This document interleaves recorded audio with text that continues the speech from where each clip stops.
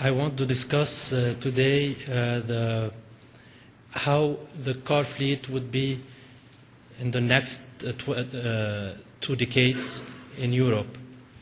Um, so first, um, this study aims to uh, assess the impact of economic of the economic model of different vehicle configurations on their uh, penetration rates Uh, into the car fleet.